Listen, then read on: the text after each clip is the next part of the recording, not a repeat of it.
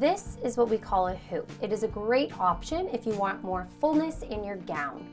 There are many benefits of using the hoop, such as creating a fullness, making it easier to walk, keeping your legs nice and cool, and the bonus is it's adjustable. So at the end of the night, if you decide to go to flats, you can always pull the hoop ring out bigger to make it easier to walk around. Now I'm gonna show you how to correctly put the hoop on. Once you get your bride into her wedding gown, that is when you're gonna wanna put the hoop on. You're gonna lift all the layers to her gown and get her to hold them, and then you're going to slip the hoop on underneath.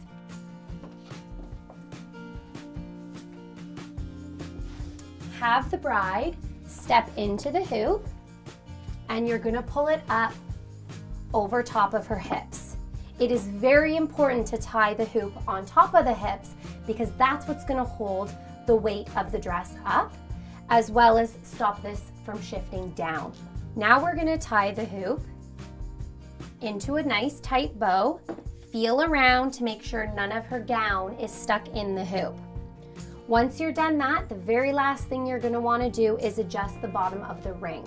If you find that the dress is pooling on the floor, you're gonna wanna pop that ring back out. You're gonna come down to the bottom of the ring and you're gonna pull that out bigger to lift more of the dress up. Grab it to the sides, you don't have to hold on to it, just hold lightly. And you're going to pull the ring out bigger.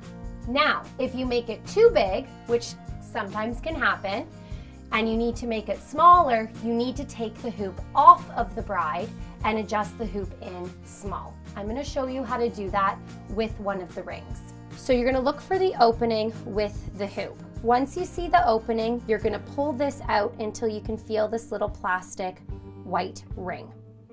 Once you've pulled this out, these two pieces are going to pop out of the casing of the ring.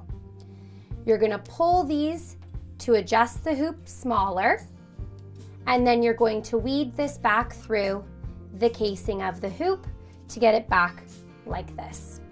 And that is how you use a hoop properly with your gown.